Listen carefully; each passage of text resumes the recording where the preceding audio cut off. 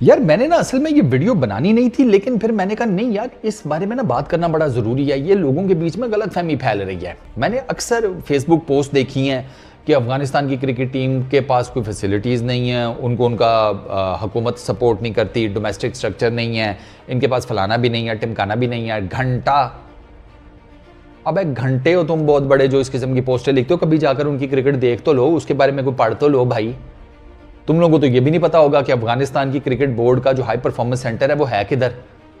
हाँ, तो क्या लगाएँगे? कंधार में होगा काबुल में होगा हैरात में होगा काबुल में है।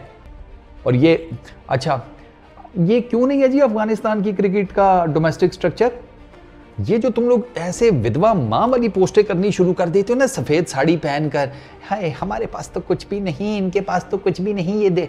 ओ भाई जाकर देख तो ले। सर, उनके डोमेस्टिक क्रिकेट में तीनों फॉर्मेट्स की क्रिकेट चलती है।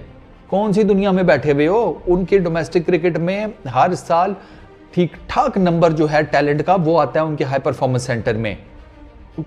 अच्छा उनकी हुकूमत उनको सपोर्ट नहीं करती सर, उनकी हुकूमत उनको दबा कर सपोर्ट कर रही है। वो जो कहते हैं कि तालिबान की हुकूमत उनको सपोर्ट नहीं करती, जाकर चेक तो कर लो, तालिबान की हुकूमत फुल टाइम अपने क्रिकेट बोर्ड को सपोर्ट कर रही है। फुल टाइम ये तुम्हें क्या लगता है, ये जो मेमोरेंडम साइन हुआ था इंडिया के साथ कि आप हमें अपने ग्राउंड्स दें, हम अपनी होम सीरीज़ वहाँ पर खेलेंगे। ये अफ़गानिस्तान क्रिकेट बोर्ड ने अपने ओन पर ही कर लिया था। वो क्या तुम्हें लगता है कोई, जिसे कहते हैं ऐसी कमोडिटी है कि जिसको कुछ पूछ प्रतीत नहीं, वो अपनी मर्ज़ी से डिसीज़न करते फिरेंगे? नहीं, उनकी गवर्नमेंट का डिसीज़न था। उनकी गवर्नमेंट का डिसीज़न था, उन्होंने कहा, ठीक है, वो अफ़गानिस्तान क्रिकेट बोर्ड ने राय दी होगी ना कि, सर, यूँ कर लेते हैं। उन्होंने कहा होगा, गवर्नमेंट ने बिल्कुल ठीक है इट्स अ गुड डिसीज़न कर लो।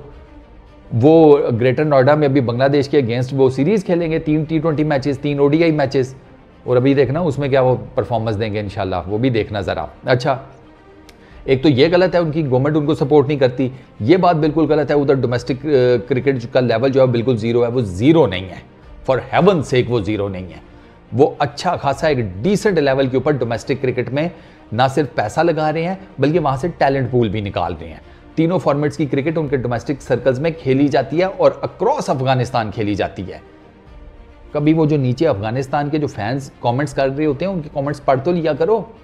तुम लोगों को पता चले, वो बता रहे होते हैं आपको चीज़ें, क्योंकि वो वहाँ पर रहते हैं डेली बेसिस पर चीज़ें देखते हैं। आप तो वैसे ही हज़ारों किलोमीटर दूर बैठे हुए और आप अपनी तरह से फतवे दे देते हो। अच्छा ये बिल्कुल ठीक है, अफ़गानिस्तान के प्लेयर्स को कोई सैलरीज का लालच नहीं है। उनको किसी किस्म की आसाइशों का कोई लालच नहीं है। ये बात मानने वाली है।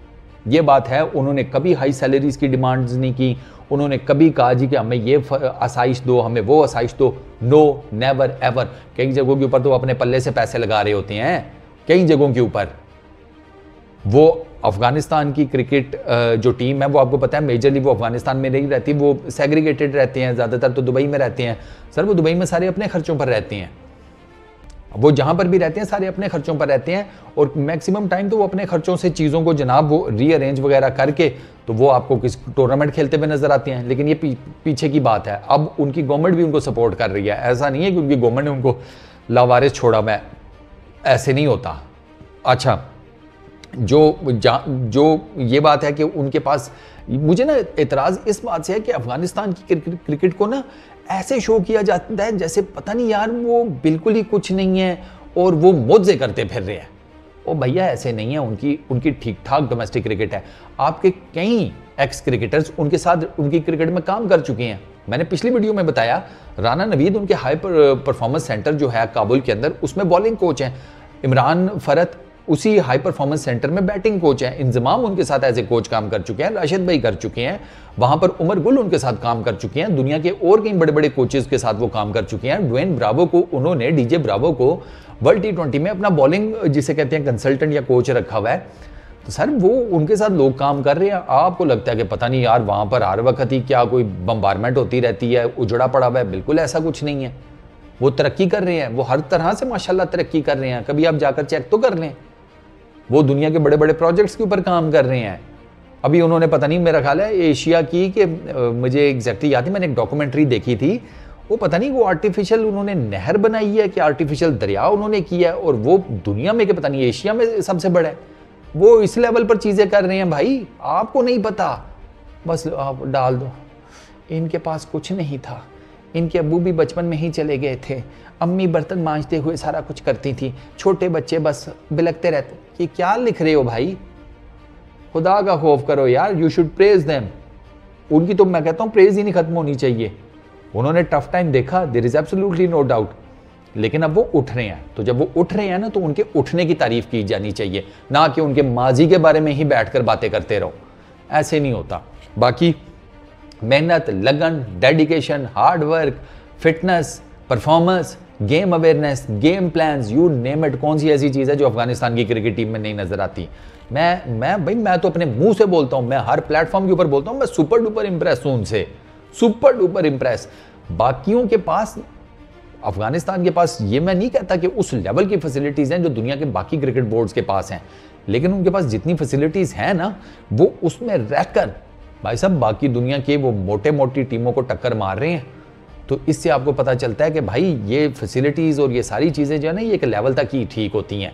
उसके बाद इवेंचुअली ग्राउंड के अंदर आप होते हैं, आपकी तरह के आपके 11 लड़के होते हैं और अगली टीम होती है। और उस लेवल के ऊपर जाकर ना अफ़गानिस्तान, वो वहाँ पर भाई सूरमा बने पड़े हुए हैं, सूरमा फुल टाइम वो उन्होंने न्यूजीलैंड को बाहर किया और उन्होंने ऑलमोस्ट ऑस्ट्रेलिया को आज बाहर कर दिया है। अफ़गानिस्तान को सिर्फ़ अब दो चीज़ें देखनी है। इंडिया जीते और वो बांग्लादेश से जीते हैं। वो सेमीफाइनल में है। सिंपल। ऑस्ट्रेलिया इंडिया को मारता हुआ मुझे तो नहीं नज़र आ रहा और अफ़गानिस्तान बांग्लादेश से हारता हुआ ये भी मुझे नहीं दिख रहा। तो अफ़गानिस्तान का सेमीफाइनल डन है। तो ये प्लीज़ ज़रा जब आप अफ़गानिस्तान की क्रिकेट के बारे में बात करें ना तो थोड़ा सा ना ज़रा ज़रा थोड़ा रिसर्च कर लिया करें। ऐसे नहीं होता कि आपने बिल्कुल ही उन्हें खड्डे लाइन लगा कर तो दिखा रहे हैं कि वो मौजे कर रहे हैं। वो उन, वो जो कुछ भी कर रहे हैं ना, अपनी मेहनत, लगन डेडिकेशन हार्ड वर्क वो बाकी सारी चीज़ों का मिक्सचर बना कर ना, चमन प्राश, वो खाकर वो सब कुछ वो कर रहे हैं। तो ज़रा थोड़ा सा ना रिस्पेक्ट लेवल अफ़गानिस्तान की क्रिकेट के लिए, उनकी क्रिकेट टीम के लिए, उनके क्रिकेट फैंस के लिए, ये थोड़ा सा ना अपनी फेसबुक और बाकी सोशल मीडिया की पोस्ट में ना ज़्यादा करें। बड़ी मेहरबानी होगी आपकी। हाँ शुक्रिया। बस, बाकी best of luck to Afghanistan cricket team Afghanistan cricket fans और बाकी वो, यार वो अफ़गानिस्तान के क्रिकेट फैंस बहुत आई लव यू बोल रहे थे। हे तुम लोग बहुत मोहब्बत करते हो यार। मेरा बस नहीं चल रहा, मैं तुम सब में से ना एक एक को गले लगा लूँ। यही है, ये जादू की जफी इधर ही ले लो सारे, हैं? अपना बहुत ख्याल रखना। नेक्स्ट वीडियो में आप सबसे मुलाकात होगी। Peace out